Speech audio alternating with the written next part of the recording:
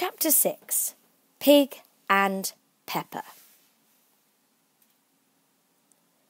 For a minute or two she stood looking at the house and wondering what to do next, when suddenly a footman in livery came running out of the wood. She considered him to be a footman because he was in livery. Otherwise, judging by his face only, she would have called him a fish. And rapped loudly at the door with his knuckles. It was opened by another footman in livery, with a round face and large eyes like a frog, and both footmen, Alice noticed, had powdered hair that curled over their heads. She felt very curious to know what it was all about, and crept a little way out of the wood to listen. The fish footman began by producing from under his arm a great letter nearly as large as himself, and this he handed over to the other, saying in a solemn tone, For the Duchess, an invitation from the Queen to play croquet. The frog footman repeated in the same solemn tone, only changing the order of the words a little. From the Queen an invitation for the Duchess to play croquet. Then they both bowed low, and their curls got entangled together. Alice laughed so much at this that she had to run back into the wood for fear of them hearing her. And when she next peeped out, the fish footman was gone, and the other was sitting on the ground near the door, staring stupidly up into the sky.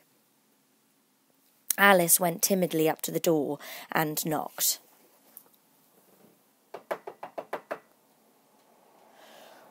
There's no sort of use in knocking, said the footman, and that for two reasons. First, because I'm on the same side of the door as you are. Secondly, because they're making such a noise inside, no one could possibly hear you.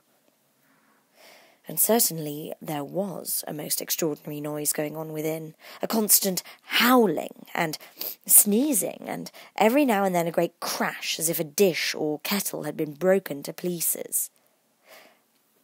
Please then, said Alice, how am I to get in? There might be some sense in your knocking, the footman went on, without attending to her if we had the door between us. For instance, if you were inside, you might knock and I could let you out. You know. He was looking up into the sky all the time he was speaking, and this Alice thought decidedly uncivil. But perhaps he can't help it, she said to herself. His eyes are so very nearly at the top of his head but at any rate he might answer questions. How am I to get in? she repeated aloud. I shall sit here, the footman remarked, till tomorrow.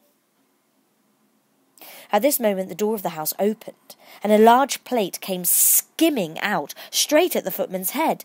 It just grazed his nose and broke to pieces against one of the trees behind him.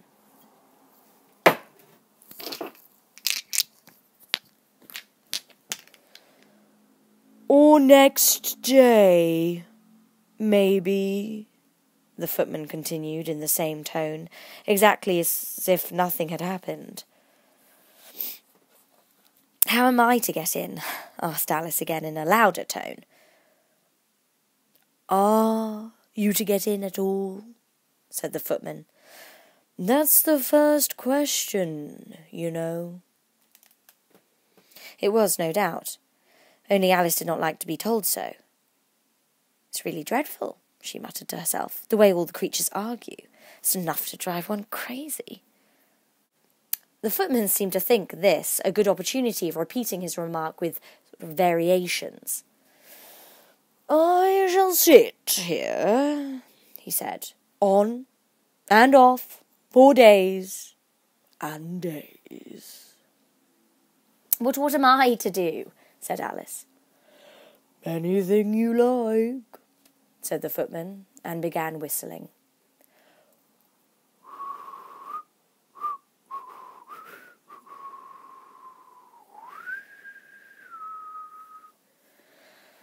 Oh, there's no use in talking to him, said Alice desperately. He's perfectly idiotic. And she opened the door and went in.